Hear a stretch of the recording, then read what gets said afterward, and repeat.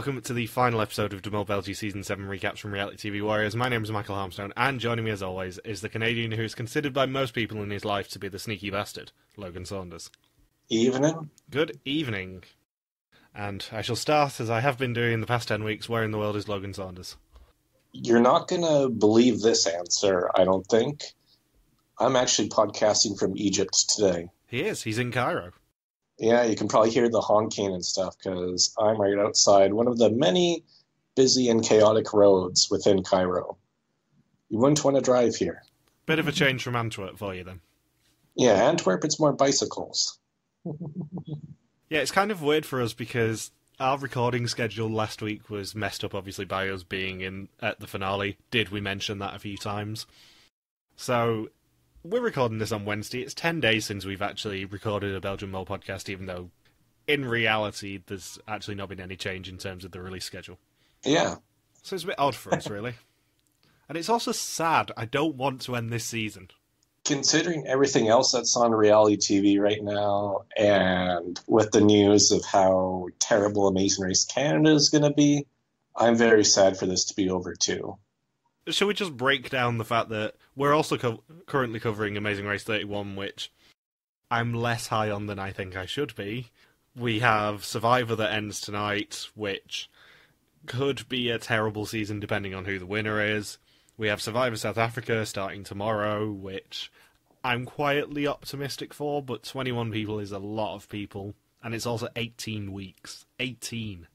Oh, so there's going to be no double boots then. No, it's they've already confirmed it's 18 episodes because they've confirmed when the finale date is because it's the week before I'm in South Africa. Oh, I think it's the 12th of September that the finale airs, and I'm in South Africa from the week after. holy hell, that's a long TV schedule. I guess the last season was such a big success then. Yeah. Um, and Amazing Race Canada, which we're not touching with a barge pole, which is going to be terrible. Yeah, I mean, I tried to watch last season and I only lasted one episode. This season, they're actually taking like 50 steps backwards by the sounds of it, which I didn't think was possible. But anyway, we're here to talk about a good show and our favourite show of the year. Not just because we were at the finale last week, did we mention that, but also the fact that it is genuinely the greatest show on TV. And for WIDM producers, take notes on how to do a proper reunion or um, sabotage summer or season summary. This is how you do a proper season summary and reunion special. Well, WIDM used to do their finales like this, and then they did the whole Vondel Park big extravaganza thing, and it's kind of it's lost its mystique in a way. I like the the homely reunions where everyone just finds out together and goes, "Oh my god, how did that happen?" Yeah. I like how one or who was it, Kaat said that she would eat a shoe if it wasn't Elisabet. Thank God she kept both of her footwear. Yeah. All right, Elisabet, give up one of your slippers to Kaat because you won the season. You weren't the mole. So everyone is driven to De Kruitfabriek near Brussels Airport, and they see each other for the first time since their trip. And we get three suspicions. We get Martijn suspecting Elisabet, Lisbeth suspecting Axel, and Ingrid suspecting Axel. And because Gilles is a legend, he basically gets to tease Bruno and ask whether he's actually wearing black socks this time. At which point Bruno's wife obviously packed him some. Hmm. and then Martijn says that it's weird seeing everyone on TV and then being there and being in the TV, which I can vouch for. This would be exactly how I would feel if I was in Martijn's shoes. Be like, oh my god, I've watched you guys on TV for like six, seven weeks now. What the hell? You're actually here. Even though he was there for the filming for the first chunk of it. Yeah, it's basically how we felt when we walked into the uh, the press room, going, "Oh my god, we are the only people here who do not do this professionally. What the hell?" Yeah. Or even being at the Survivor reunion when I went to the Kaôh Rōng finale a few years ago, where it's and or the Race 29 finale, where it's like, huh. So I've just been watching this on TV for three months, and I know I'm going to be on screen with Jeff Probst for a few seconds. Yeah, I mean, I, I said this to to Axel a couple of days ago that like it felt really weird for us to be there and be definitely the only unprofessional people there. and not even be from there. Yeah, and I'm sure it felt really weird for those guys, so we couldn't really sympathise with them kind of walking into a room of potentially intimidating journalists. I know none of them were intimidating, but you know what I mean. It's exactly how we felt when we walked in an hour earlier going, oh my god, this is way more professional than I think we were expecting. We are so out of place here. As we have the Coke bottles on the floor of the room. Yeah. As I try and force you to look like a fat bastard and go get me a Coke before the uh, screening starts. Jeez. There's a Burger King next door. I know, but there was free drinks in there, all right. I was going to Yeah, if it's free. it. Yeah, Yeah. I, I mean, if it's not nailed down, money saving travel tip 101 with Logan Saunders. If there's a free buffet, you take full advantage of it. I just released all those videos today, actually. yeah, I noticed you did. I haven't watched them yet, but I noticed you did. So Kaat and Joeri both suspect Elisabet as well. Bruno says Bas and Axel, and Eva says Bas as well. And then they all watch the finale and laugh as you should at the massage karaoke challenge. I like how they showed at the very end of the reunion the Dream Teamers testing out that challenge. Yeah, It's like, yeah, I guess you really have to have Dream Teamers that have to pretend they're doing the karaoke massage. Well, Axel said to us that um, they had Dream Teamers right in front of him, basically when he was going through the tunnels, and they and they also tested it before they'd even got there anyway. And the Dream Teamer got stuck and they ran the challenge. He did because Which we- Belgium waits for no one. Yeah. And it looked like that tunnel challenge. Wonder how, up- I don't, maybe not upset's the right word, but producers are probably disappointed that so much of it didn't work out the way they wanted it to for such a cool location. yeah, that that was the one sabotage where my jaw drops going, "Oh my god, how did that not work?" Yeah, like in, and that was was that one of my main points I brought up during the podcast this year that made me very suspicious of Elisabet. Yeah, I think it was because that was the one week where she was the person I went all in on on my suspect list was the the tunnel week. It was the only week where I put all my points onto her. Which makes sense looking back at it, where it's the one time where even she was like, uh, that wasn't a bit good obvious. sabotage. Too obvious, yeah. That's the one week where, It's the one week where Everyone- even I was onto her. yeah. If you're even onto her, then she really stuck her neck out way too far. I cannot wait for one of these seasons to come along where you're so unbelievably wrong, and I get to be impossibly smug about it. Wait till next year, Michael. I've got two chances again next year. You never know, Michelle might be right again. I have to be shut out with Belgian Mole, though. That's the main one. You can't claim Peter against me when I was onto Peter as well. I'm not claiming it against you. I'm just saying, going into a final three, I've expressed lots of confidence and have been right every time. Yeah, whatever. I can't wait for you to be wrong. Exactly. That's the whole fun of the game. And my favourite reaction to Elisabet being revealed as a mole goes to Eva. She screams. Because something wonderful that's happened this year that we haven't really acknowledged on the podcast is the fact that VIER have basically opened up their website to anyone in Europe. So if you have a European IP address, you can watch Belgian Mole without any subs, obviously. But you can watch Belgian Mole on their website now, which you never used to be able to do that last year. Which is great, and I'm hoping that we're kind of a, a little reason for that. But I watched the first kind of five minutes of the um, the reunion on Sunday night just just out of interest to see everyone's reaction when uh, Elisabet was revealed as the mole, and I actually had to screen cap Eva's reaction because I'm like, there's not going to be much of this reunion that I love more than Eva's reaction. I don't think there is one moment that did beat it, and that's our banner this week. But I really enjoyed Eva's reaction, just going, "Oh my god, I am so wrong." That definitely is the I couldn't have been more wrong even if I tried face. And I thought it was really sweet that Elisabet kept crying as well. Yeah, she was genuinely nervous about being revealed to everyone else. We kind of realized after watching everyone's interviews and stuff that she's really not used to lying that much. She described herself a few minutes after this bit in the episode saying she's not one to lie, but she's good at it. I'm like, I don't think that Elisabet really goes through life deliberately misleading people.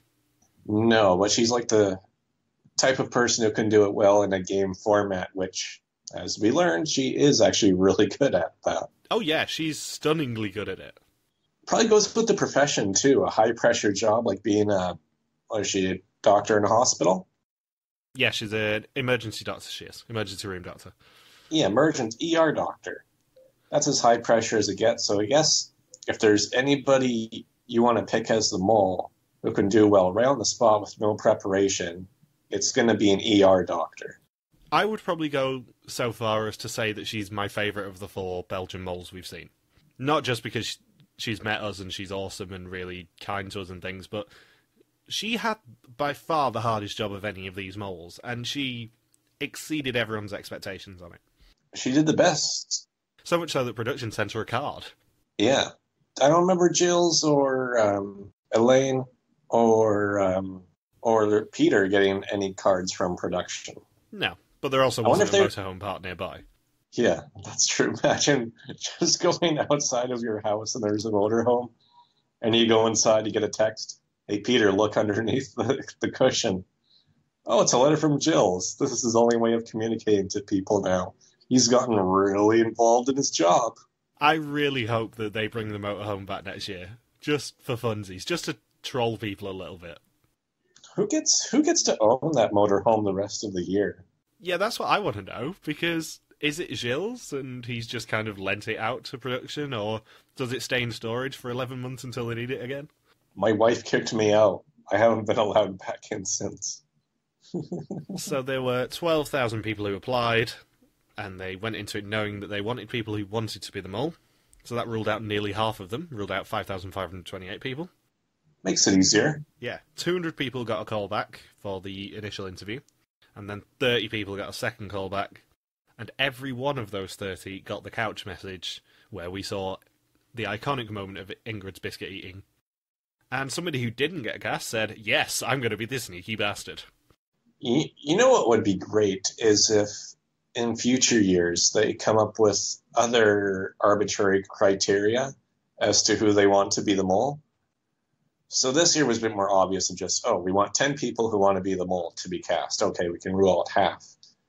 Maybe next year it's like, oh, we don't want anybody with uh, blue eyes, or eh, we don't want anybody that's below five foot two or five foot five. Let's just let's just rule all those people out you know things that make the casting process easier for for the production.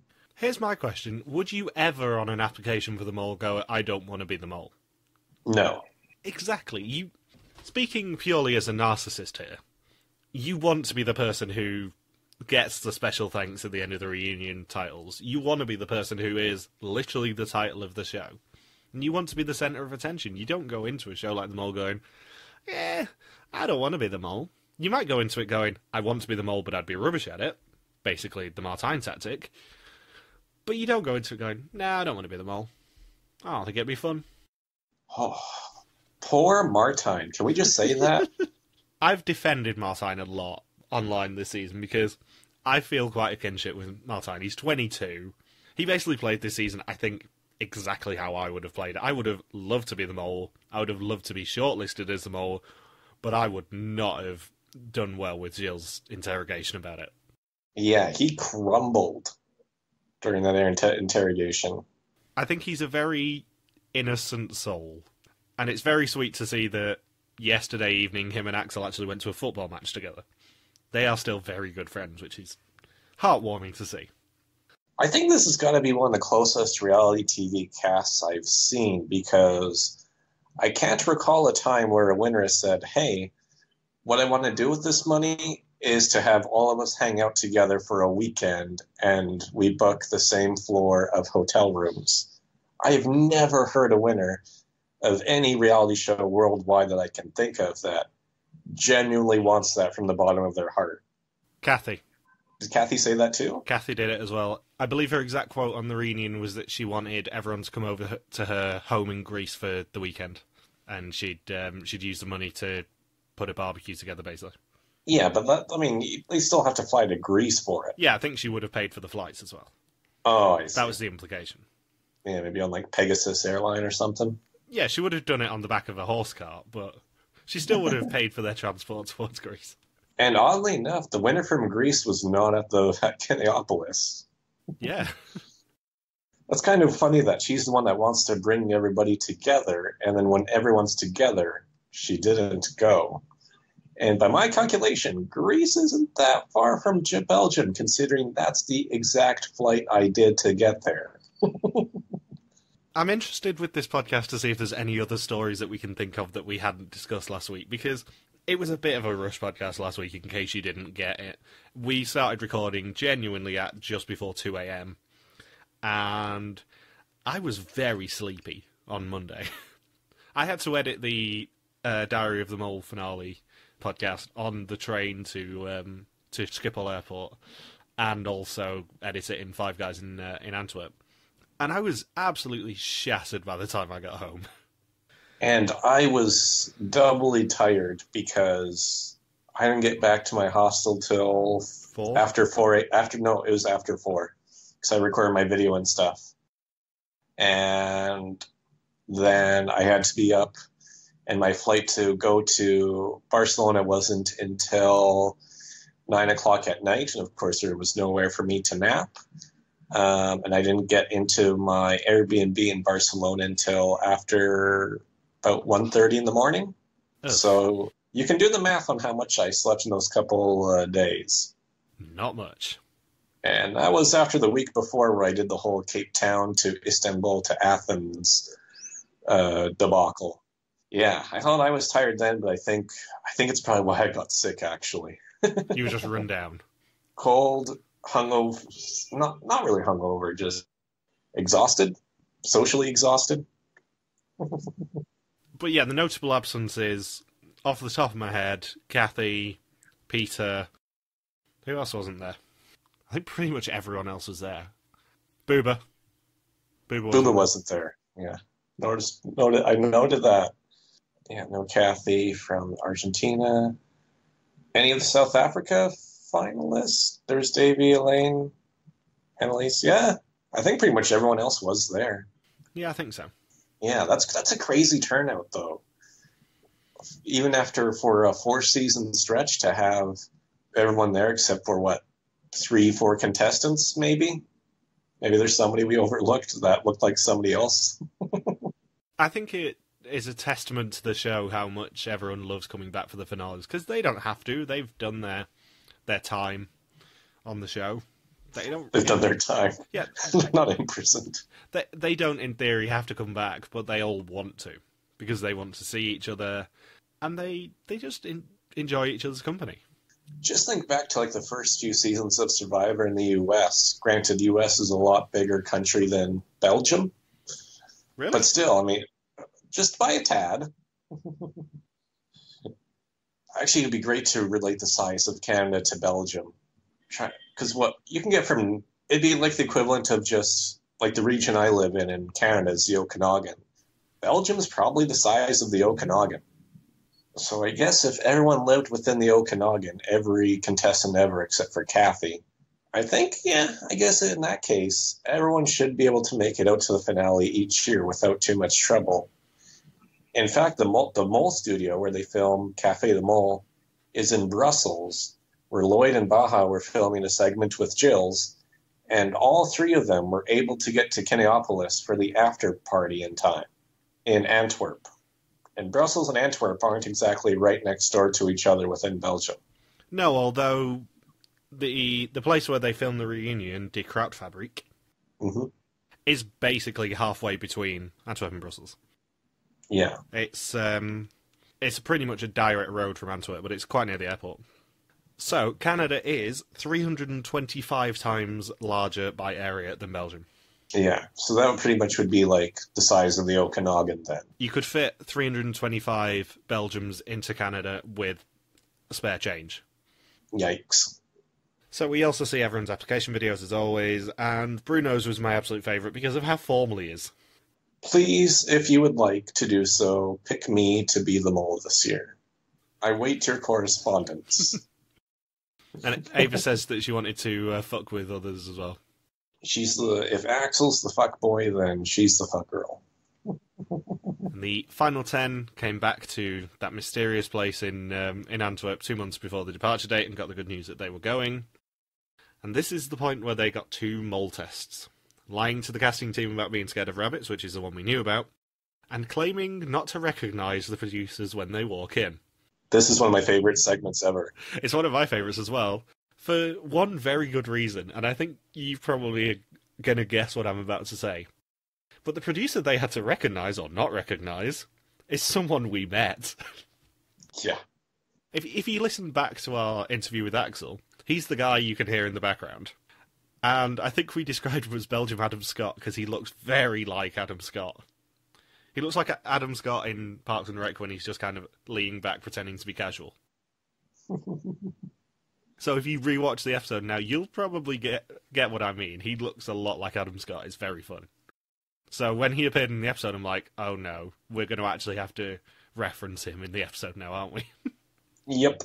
so why did you love this segment so much?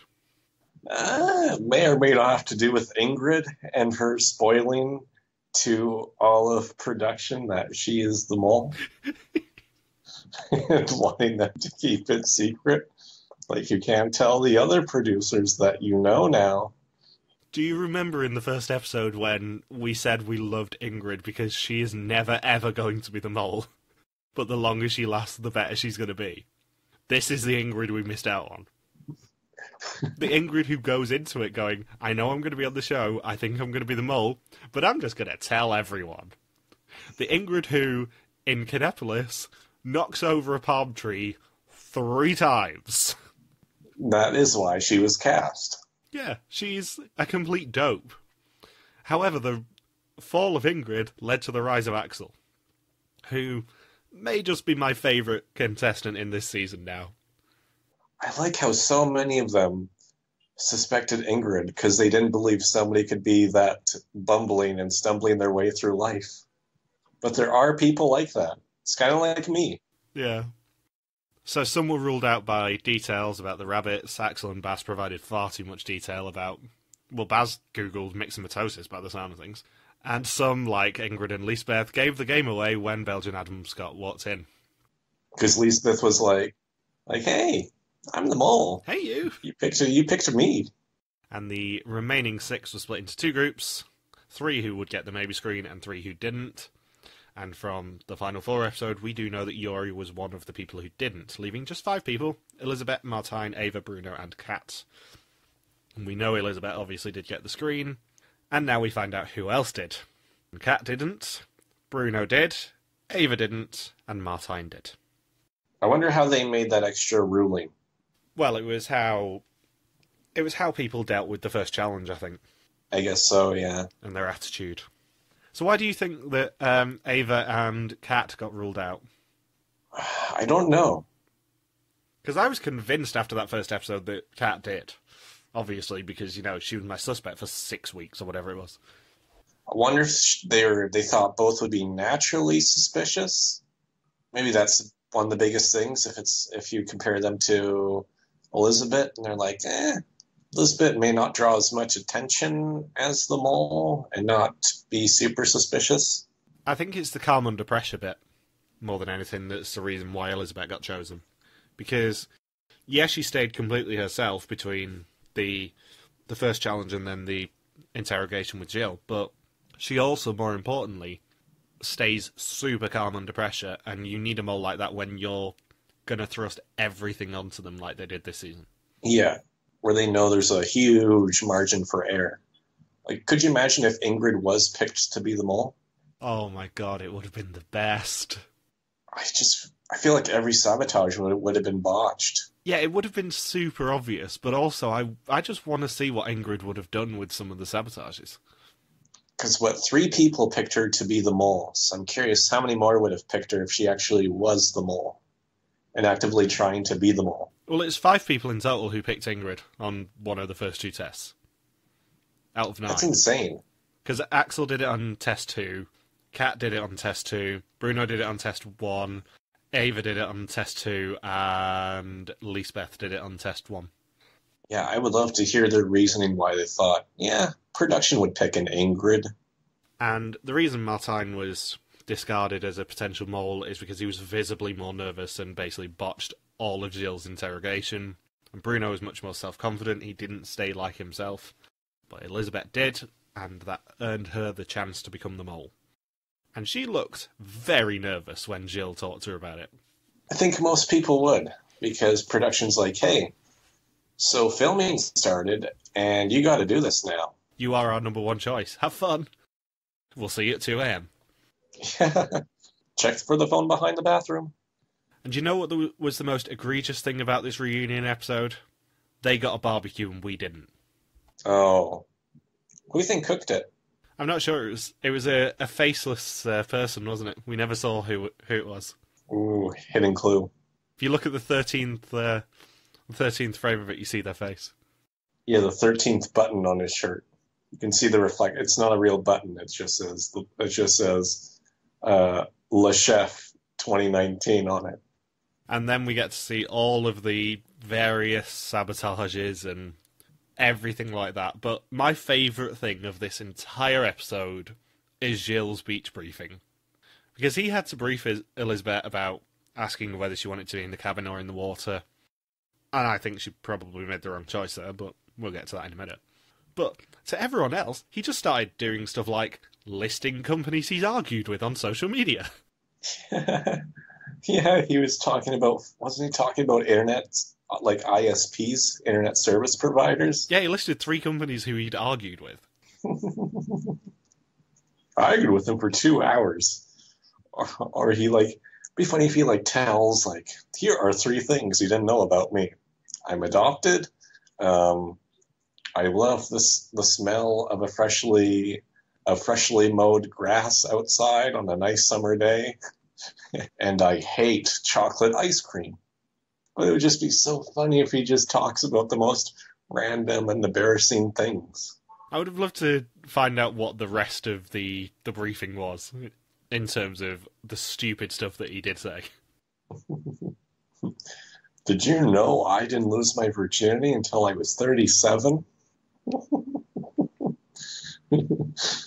I didn't know. I, I I'm just thinking of other things. Um, I didn't know who Alex Trebek was. I just found out last week. Or a fidget spinner? No clue what those are.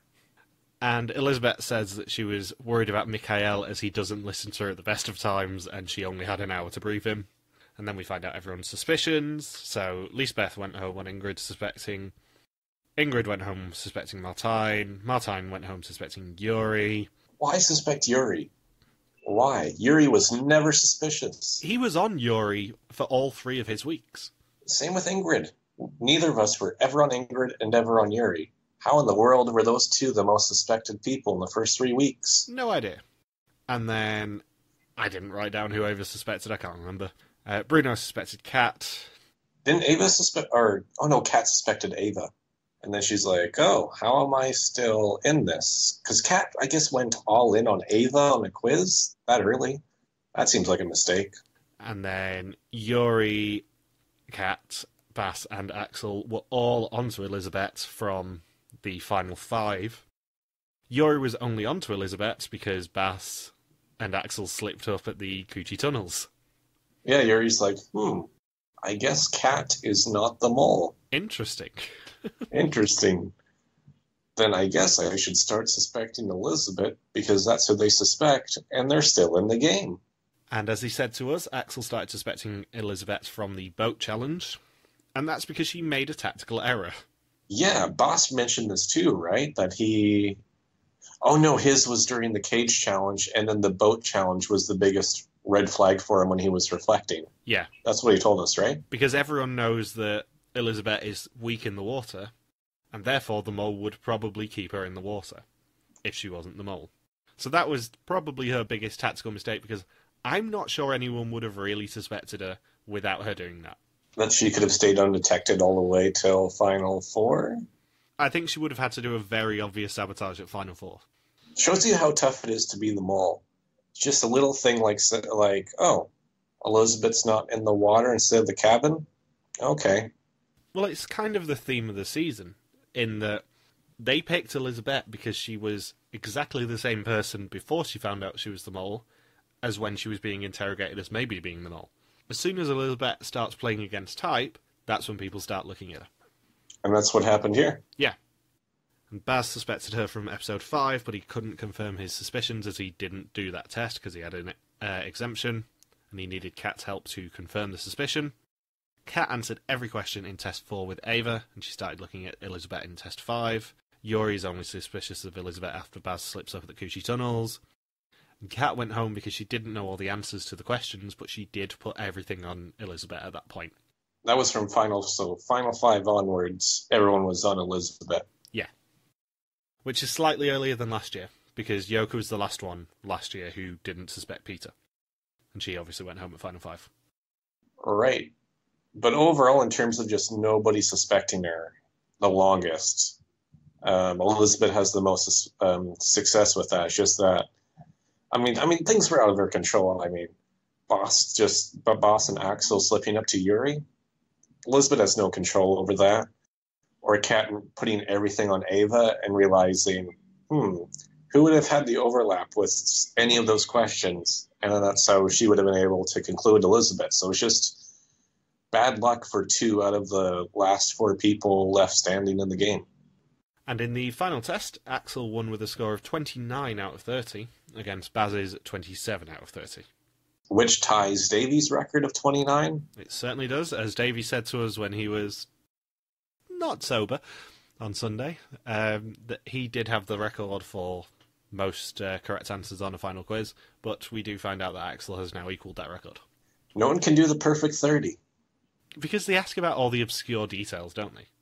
I guess, I mean, they want to resist having a tie, right? I assume ever since Kathy and Hannah had the double tie, that they always want to make. I mean, it's like doing a test in school where there's a general grade of where you want most people to finish, and then you got to throw in those tougher and those nearly impossible obscure questions just to make sure as few as people as possible can get that 100%. Yeah, but you also have to remember that most of the questions on the final quiz will be 50 50 if you're not the mole. Yeah. You just have to have the memory to, to know exactly what the 50 you're looking for is. Don't they usually have more than a couple options, though, on the final quiz? Not sure.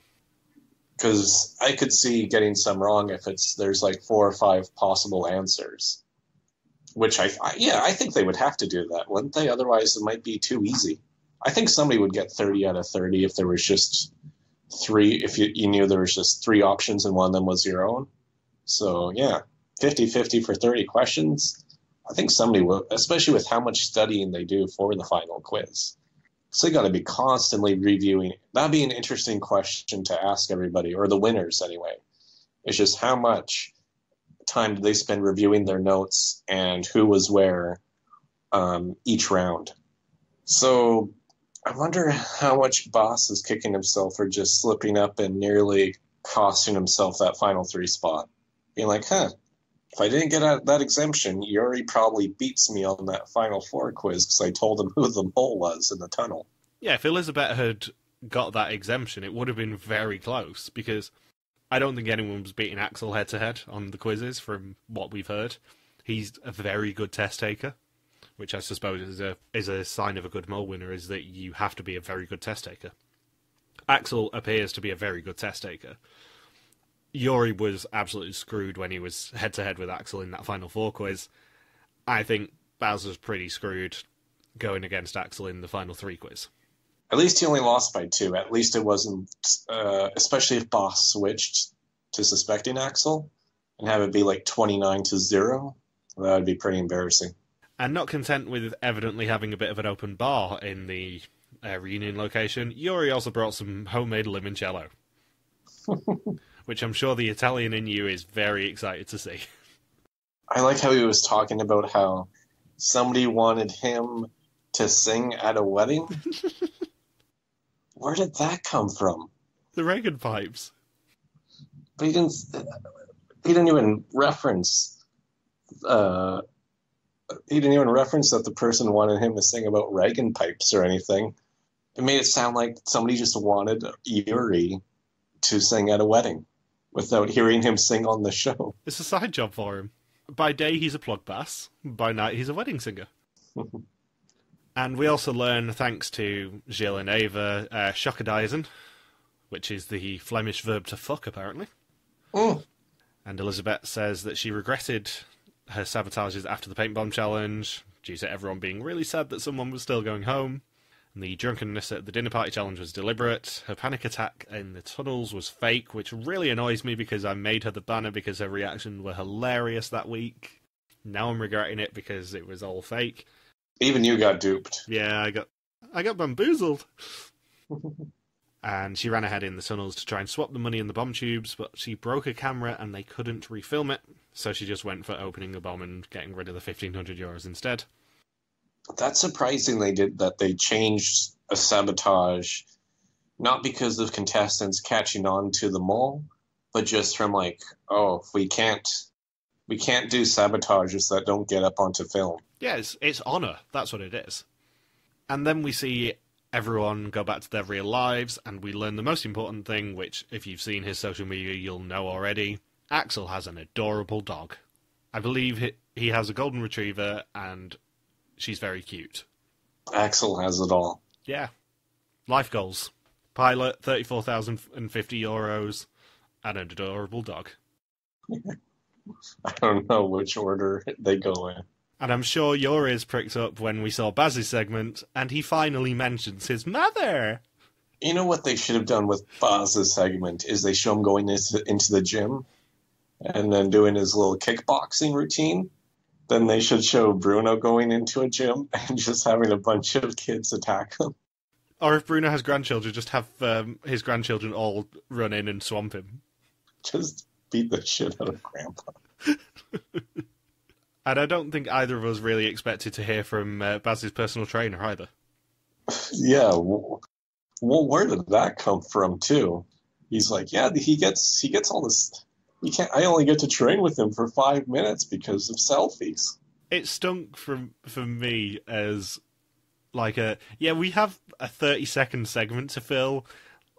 Let's just speak to Bas's personal trainer. I don't know, and nobody said no. Do we even learn his name? No. No, he's just literally Bas's personal trainer. So random. We don't get to see him before or after that. It's just, oh, let's let's see him be Bas's personal trainer, then be like, Bas is getting out of shape. He's gained like twenty pounds because all he does is take selfies. He wasn't even at the finale. Because of all the selfies. He tried like in the press room, I'm sure he was gonna be in there to train Bas. But then yeah, then the hordes of selfies happened he should just go up to Bas. There should be like an additional reunion special, and it's just Bas's trainer getting increasingly pissed off with him. Like, you missed another session with me, man. Do you even take kickboxing anymore? I'm taking away your blue belt. You're being downgraded to a to a white belt again. You're starting over. And now onto the clues, none of which were really that face palming until we got to the end. So the first clue was that in the trailer that everyone got the um, the cast names from, which kudos to them, because I would never have got them all. Elisabet's name was hidden in Braille, referring to the mole's blindness. Bit of a lame clue. Yeah. She was also the last one visible before the logo in episode 1. Bit of a lame clue. The weakest link in the hike was number 13. The 13th shot from each elimination scene was of Elisabet. Better clue, although the weakest link being the 13th one, eh, that was never actually explicitly said on the show. However, then we get the best sabotage, maybe ever. The final clue is that she sang at the end of episode one in the Ready or Not song. And I am so annoyed at this. because for two years we've been saying that the music was going to be a clue and that it was it wasn't going to be a moles playlist thing and i got avengers into my head and all that sort of stuff last year and i was obsessed with this song at the end of episode one I actually seeked out the Mole playlist on Spotify to find out what the version of the song that they used was. So when they said that she sang it, I'm going, oh, for God's sake. I know, because the music's been like your white whale for the past three years. It really has. It's so irritating to me.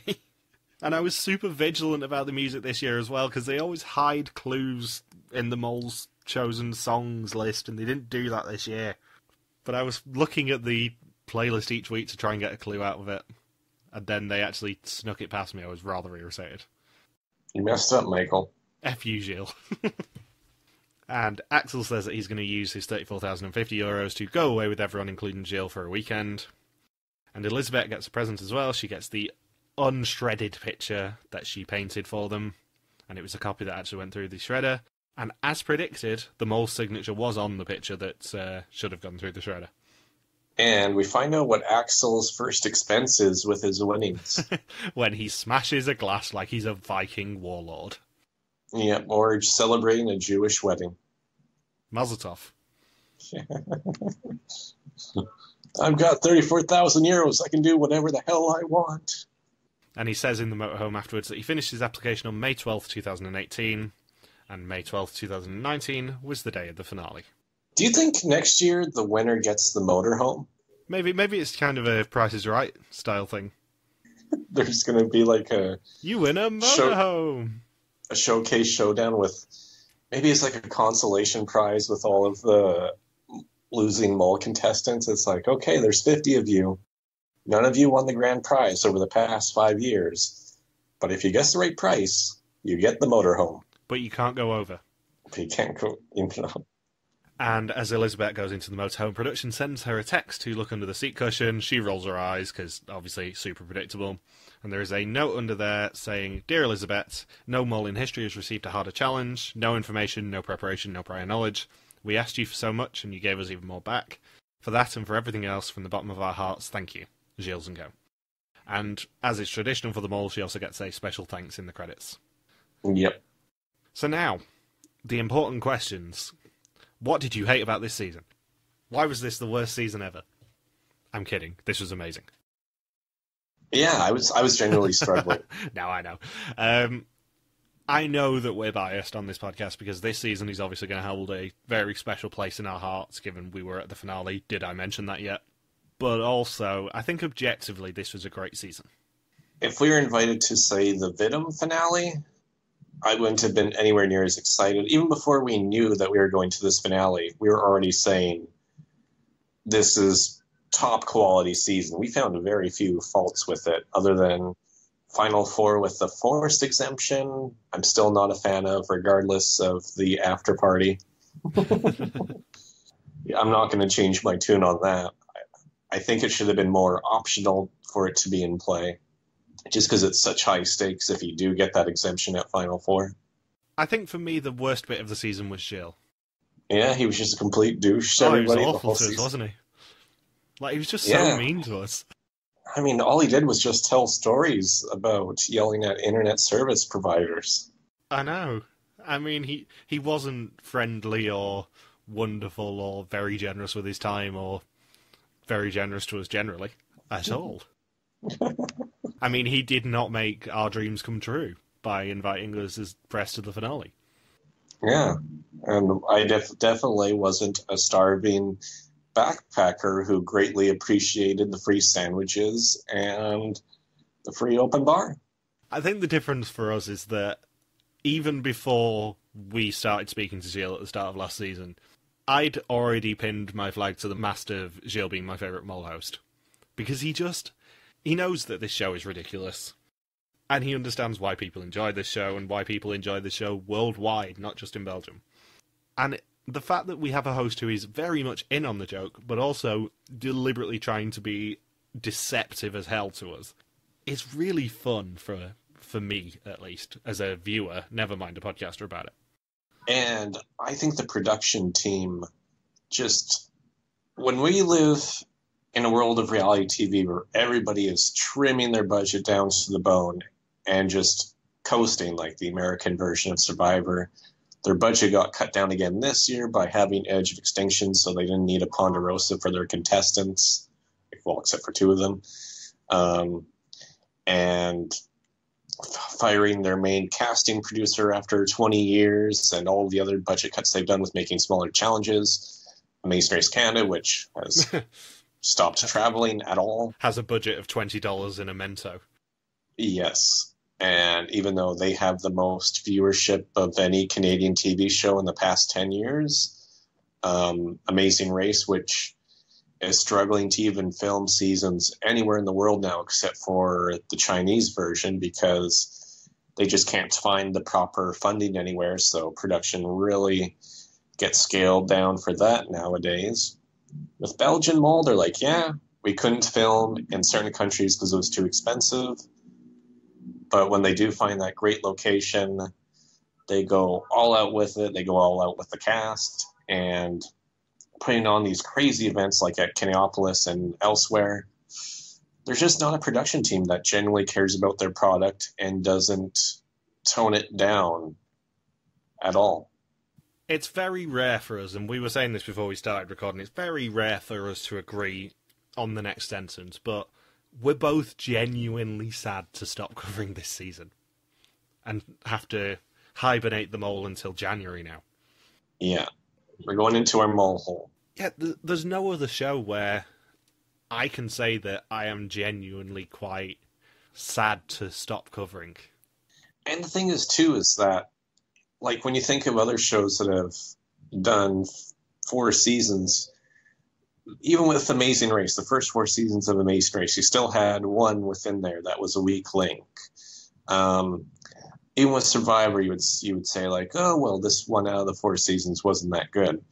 With Belgian Mole, there's not one that really sticks out as a sore thumb as not being as great as the others. No, and the other element of that is the fact that, as you said, the production team genuinely care about not just this show being good, but about all the contestants enjoying themselves and just trying to make a good product. Because I highly doubt, from what we know about reality TV worldwide, that their budget is huge.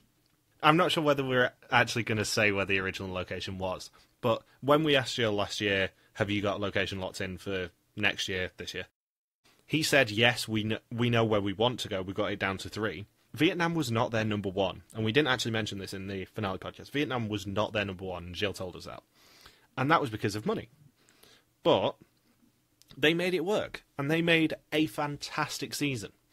And I think from being around everyone involved in the show, not just production, but the contestants, as we may have mentioned, we were around a lot of the contestants last Sunday evening.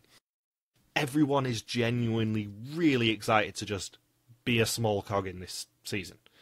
And I think this season, especially, there isn't a weak link in the cast. Because I could say one word and you would know exactly who I was referring to in regardless of who it was in the cast. So for example, Biscuit, Ingrid, obviously.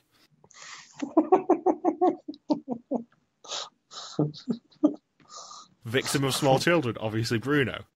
Regan Pipe, Joeri. That's what I mean.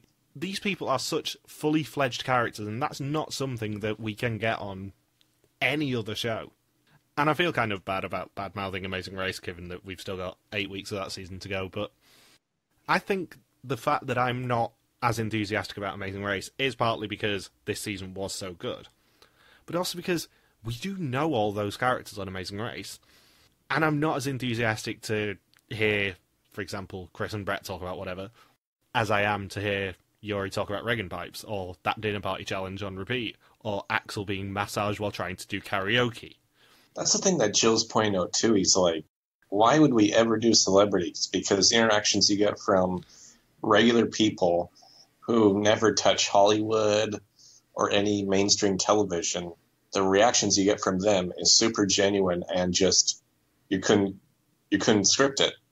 And I think it says it all that there was ten episodes this season as well, because that's not something we've touched upon. The fact that there was one extra episode this year, and that was partly obviously because of the mole hasn't been chosen twist. But also, I think the network obviously has a lot of faith in it. Because last year's finale, the Mexico finale got 61% network share. It's about 55 this year. Oh, that's still. That's still well over half of the country watching it. And I know this is something we talked about with WIDM in March, but the numbers are insane. They have higher numbers than WIDM. Yeah, they do. For what I consider without blowing smoke, and regardless of the fact that we are friends with a lot of people in the show now, without blowing smoke, it is the best show on TV, and I've shouted it from the rooftops. I've said it on The Chase, which is the UK's most watched game show. I've said it on The Code with Ant. I've said it on the radio pretty much every time I've been on it. Anytime anyone asks me what show is your favourite to cover, without a shadow of a doubt, I always say The Mole, and the Belgian version's the best. And I'm sad to now be saying goodbye to it.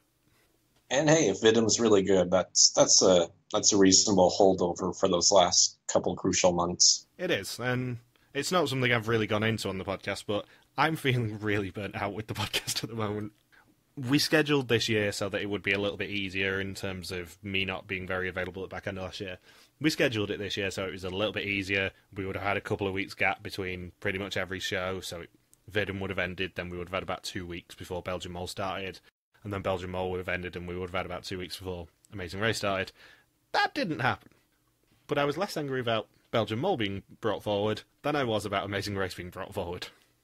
Because Belgian Mole, I would cover regardless of the timing. I would make it work.